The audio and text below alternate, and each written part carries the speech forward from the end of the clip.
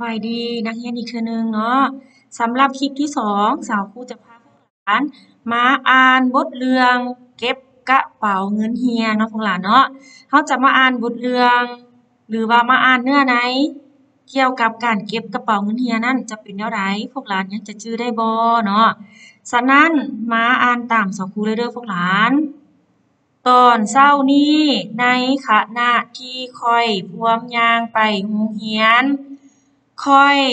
เห็นเหตุการณ์หนึ่งเกิดขึ้น มีผู้ชายคนหนึ่งขี่รถจักรกายข้อยไป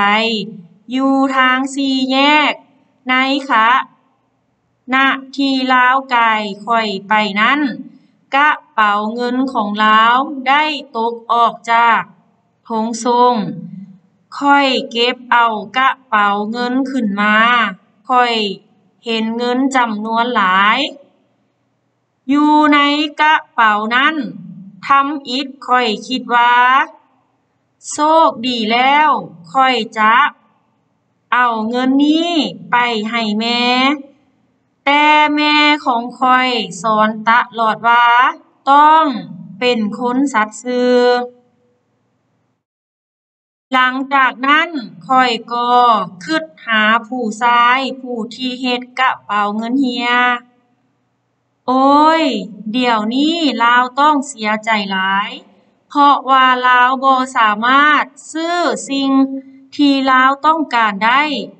ต่อมาข้อยรู้ว่าควรเฮ็ดแนวใด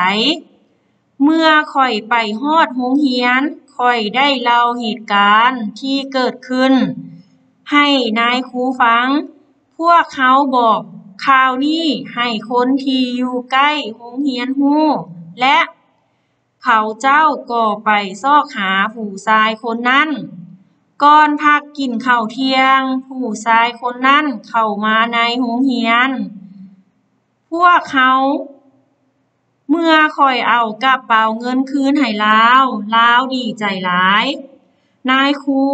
และผู้ชายคนนั้นก็พากันชมเชยข้อย เมื่อข้อยเลิกเรียนกับฮอดเรือนข้อยก็เล่าเหตุการณ์ ที่เกิดขึ้นให้แม่ข้อยฟัง แม่ว้าว่า แม่ภูมิใจนำลูกหลาย อ่า เป็นแนวใดพวกหลาน อ่านทันบ่เป็นแนวใดเนื้อเรื่องเนื้อในอ่าบทเรียนบทนี้เนาะเพิ่นจะสอนให้เรารู้ว่า เราต้องเป็นคนสัตย์ซื่อ สิ่งของสิ่งใดที่บ่แม่นของเรา เราก็บ่ควรไปเอาเนาะ ถ้าเราเก็บกระเป๋าเงินหรือสิ่งของที่มีค่าได้